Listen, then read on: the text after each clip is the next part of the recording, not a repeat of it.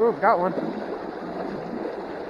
Hey guys, so today's a little bit different. We're not going to be bass fishing. I'm going to be trout fishing. It's going to be in a stock stream. I've went over there a couple times the last couple weeks and there hasn't really been much action, but hopefully there will be a little bit tonight. And yesterday I went and caught a bunch of really good bass. Hopefully you've already watched the video. If not, go watch that video. So I am here and I realized something. I drove the wrong truck. Yeah, the other truck has a tackle box with a bunch of trout gear in it and all that good stuff. This one, well, this truck has basic gear in it because I just grabbed my my basic tackle box. So we'll see, we'll see if we can still make something happen. But it's maybe an adventure. So, also I realized I don't have any actual weights. Poop.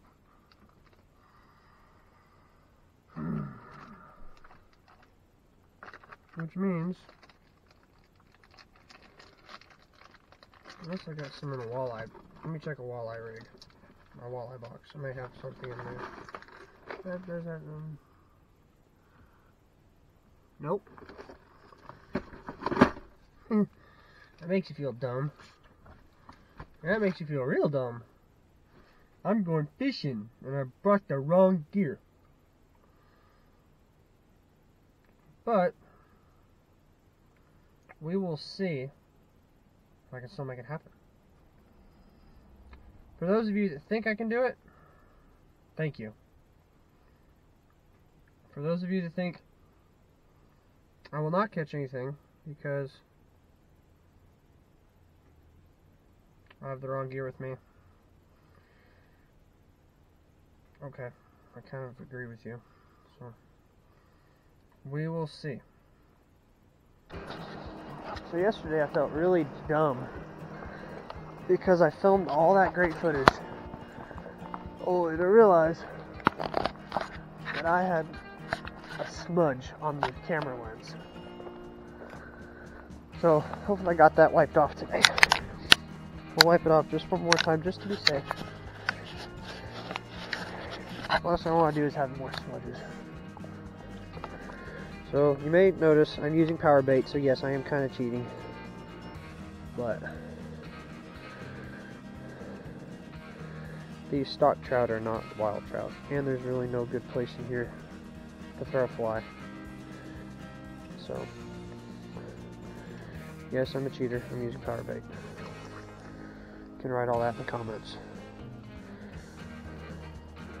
Just like and subscribe, please. There we go. That's where I wanted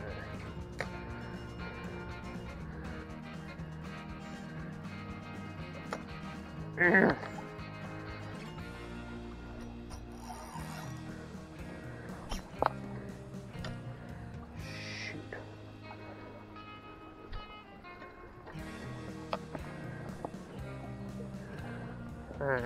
Dang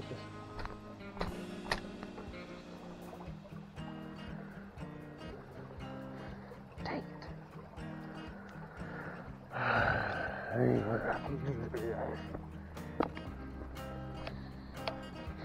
Let's go to another spot. And retie.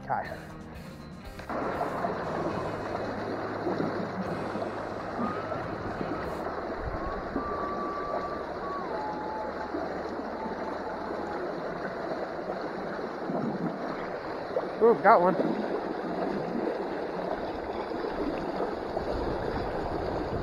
Ah, that's exactly.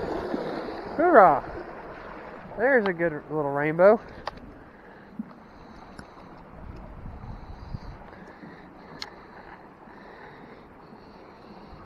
Hey, swallowed the hook too, big time. Alright, calm down. Good grief. Well, this one's definitely coming home with me to eat because he really ate this hook and he's bleeding everywhere. Got him. Oh, wow. He's bleeding all over. I guess what we'll do is get an old Indian stick kind of thing. First off, you want to kill, dispatch him nice and effectively. once you kill them, you know what I like to do? Take a little bit of like privet or something like this. I ripped off a little bit of privet there. Now we'll take this stick.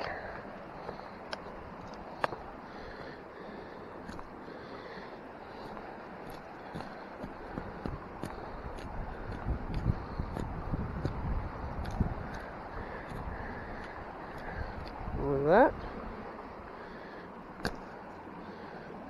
Chop it off right there at the end. And what you can do is run up through the mouth right there. And you have yourself a makeshift stringer. Simple.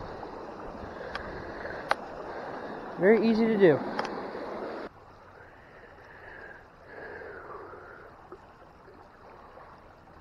So we have the rainbow that I caught earlier.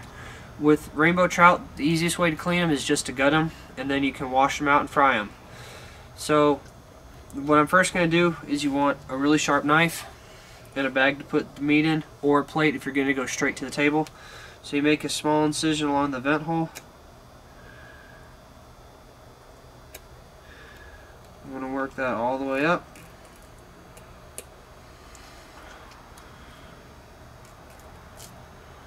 Along through this bone right here. And up to the base of the gills. Just like that. Very simple incision. Very easy to do. Reach in there. Get a hold of the esophag esophagus area up here. What I do then is I get a hold of it, just like with a deer, where I cut it with a deer, reach up in there,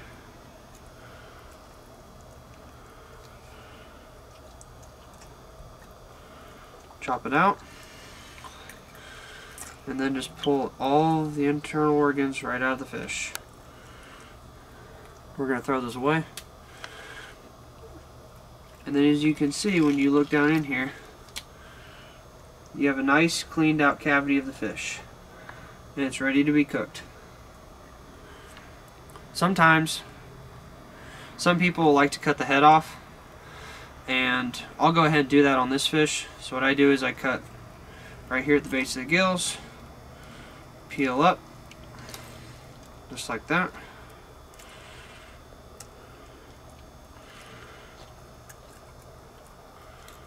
And right there, and the whole head comes off quite nicely actually.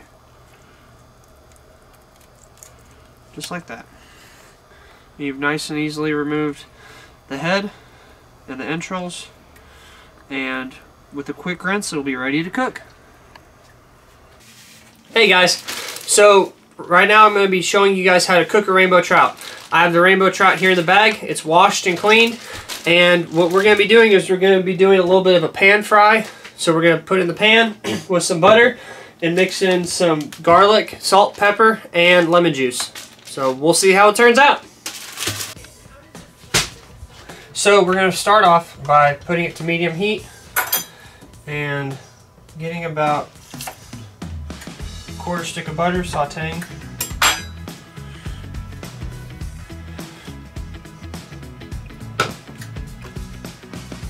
Oh, three quarter heat.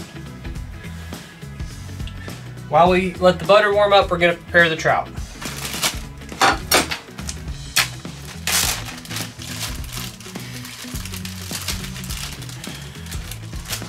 To prepare the trout, I'm going to take two tablespoons of butter. I'm going to slice them in half. We're going to let those sit those on the side right there. Once we have that, we're going to, with one hand I'm going to touch the fish, and I'm not with the other so I don't cross-contaminate. So we're going to slide that butter up inside there. Slide some more butter. Then I'm going to take some, some pepper, shake it up inside there. I'm also going to take a little tiny bit of garlic. We're going to shake it up and shake it and get it up in there to add, give it a little bit of flavor. Now you want to be careful not to put too much garlic in. You can really over garlic your fish very easily. Next we'll put a little bit of salt. Also going to lay some salt and pepper on the outside of the fish, kind of rub it on.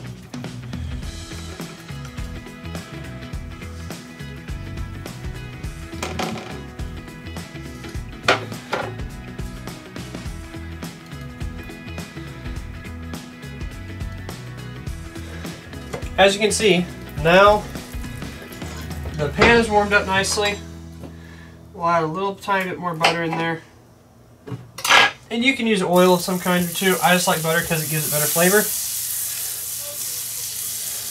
And now that is nice and hot. Now we're going to add our fish. Just slide it all on there. Get in there and cook. And I'm going to turn the heat down just a little bit. I don't want to burn it on the outside. Now, it's been a couple minutes. I'm going to flip it over. And as you can see, we've got that nice golden brown look to it right there. That is beautiful. I'm going to add a little bit of lemon juice.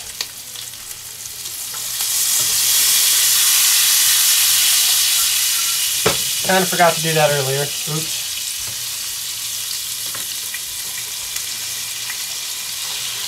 I'll give it a little bit of flavor right there. So anyway, it's been a few minutes. We're going to flip it back over, see how it's looking. Oh yeah, it's looking really good.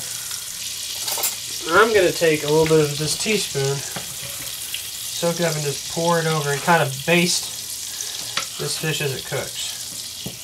So my fish has been in about five minutes on each side. I'm going to leave it for about 30 more seconds on this side and then flip it over for 30 more seconds on the other side and it'll be done. So it's been the right amount of time. We're going to go ahead and take it out of the pan, lay it on a plate, and this rainbow trout is ready to be eaten. It's a nice golden brown texture, as you can tell. It's still soft and moist, but it's crunch. The skin is nice and crispy, which is what you want. And I'll show you guys how to debone it here in just a sec. So now, I'm going to show you my preferred way to get the bones out of these things. So what I like to do is I like to take the tail and just barely start scraping a little bit of the meat right there. And when you have it cooked properly, you should be able to take it just like this. Ooh, that's hot. Still pretty warm. And as you can see, what I'm doing is I'm running up with my fork and everything. Just peel it right out. And that is one fillet, almost completely deboned. It needs a little bit more, but not much. Then I will flip it over like this and do the exact same procedure on this side. and what that does is this helps eliminate your Y bones. And for those of you that don't know, on a fish you have the skeletal structure and then right here these little hair things are what are called Y bones.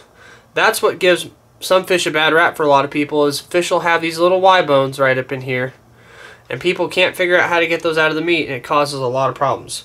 But as you can see with this rainbow trout, I deboned just like that. Now, all you have to do is you go along and you'll pick out the fins because each fin has bones. There's bone structure on there. Some bone structure right there. There's some bone structure on that fin.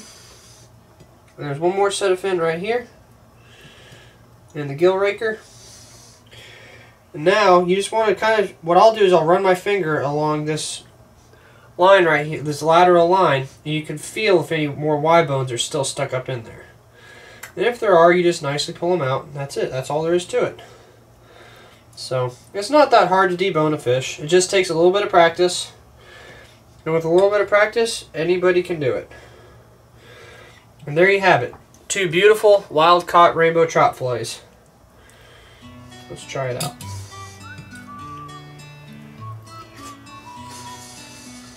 Huh.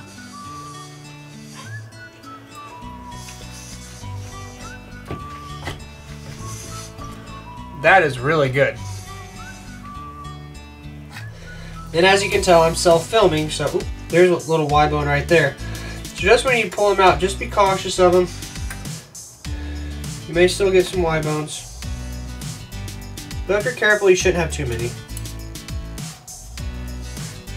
Hey guys, if you enjoyed the video today, click the like and subscribe button down below. Hopefully y'all learned something, and I hope you have a great day. God bless. Bye-bye.